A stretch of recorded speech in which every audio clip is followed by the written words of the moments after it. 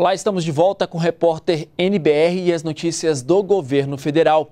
O presidente Michel Temer se reuniu ontem à noite com dirigentes da CNA, a Confederação Nacional da Agricultura. Segundo o presidente, o setor sustentou a economia do país durante momentos de crise. O Brasil espera colher uma safra recorde de grãos neste ano, acima de 221 milhões de toneladas, segundo o IBGE. Além disso, nosso país ostenta o título de maior exportador de proteína animal do mundo. Para melhorar a logística e o escoamento de toda essa produção, os dirigentes da Confederação da Agricultura e Pecuária do Brasil se reuniram e entregaram um documento com um conjunto de sugestões para o presidente Michel Temer. As estradas no Brasil concentram mais de 60% do transporte de carga, de acordo com o IBGE, e nessa conta entra boa parte da safra agrícola. É por isso que a CNA sugeriu ao governo a consolidação dos corredores logísticos das regiões Norte, Nordeste e Centro-Oeste, que servem também para descongestionar os portos do Sul e do Sudeste. A CNA também sugeriu que o transporte hidroviário seja encarado como uma alternativa concreta. O presidente Michel Temer se comprometeu a estudar as sugestões apresentadas. Também falou sobre a recuperação de mercados como a União Europeia para a carne brasileira depois da Operação Carne Fraca que apura irregularidades na concessão de licenças para a produção e venda do produto. O ministro Blairo Maggi acabou de me dizer que terá nova, novas conversações agora, durante esta semana, semana que vem. É, técnicos virão para cá para fazer também, naturalmente, um exame, uma inspeção. Mas veja que em pouquíssimo tempo, vários países que iriam eventualmente embargar não o fizeram, né? E, portanto, revelando a rigidez, a eh, da carne brasileira. E nós vamos agora ao Palácio do Planalto saber as informações com o repórter João Pedro Neto, ao vivo. Oi, JP, mais uma vez, bom dia. Oi, Leandro, bom dia para você também, bom dia a todos. Olha, o presidente Michel Temer ele está lá em São Paulo, ele acabou de participar da abertura da décima conferência anual do Bank of America Merrill Lynch. Essa conferência para o Brasil do Bank of America acabou de acontecer. O presidente, portanto, falou a empresários e investidores estrangeiros na abertura desse encontro que aconteceu agora há pouco, acabou há poucos minutos.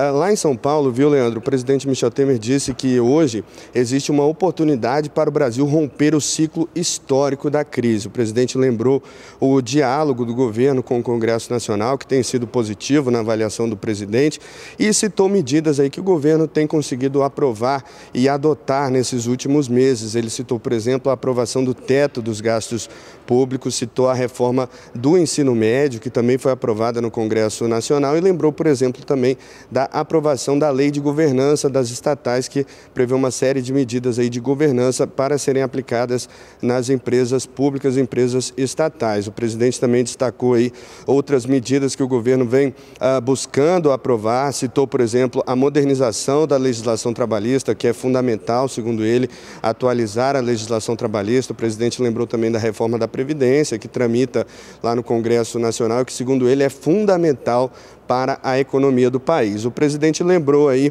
ah, alguns avanços que têm acontecido ao longo desses últimos meses, citou, por exemplo, a queda da inflação, a queda da, da taxa básica de juros, a, a, taxa Selic. O presidente também lembrou do, da queda do risco Brasil, que é aquele risco avaliado por investidores para se investir aqui no nosso país. Ele lembrou que esse risco Brasil caiu muito ao longo dos últimos meses. O presidente Michel Temer destacou aí uh, a responsabilidade fiscal do governo é um foco do governo, uma prioridade do governo, a responsabilidade fiscal aliada à responsabilidade social. Ele diz que o governo está buscando é, construir uma sociedade mais estável, disse isso ao lembrar aí dos avanços em programas sociais, como por exemplo no Bolsa Família, uma valorização dos benefícios do programa Bolsa Família e também ah, novas medidas aí para o programa Minha Casa Minha Vida. Foi basicamente isso que ele apontou aí nesse discurso lá em São Paulo que acabou agora há pouco, Leandro. Aí o presidente Michel Temer ele retorna aqui a Brasília, hoje à tarde ele cumpre agenda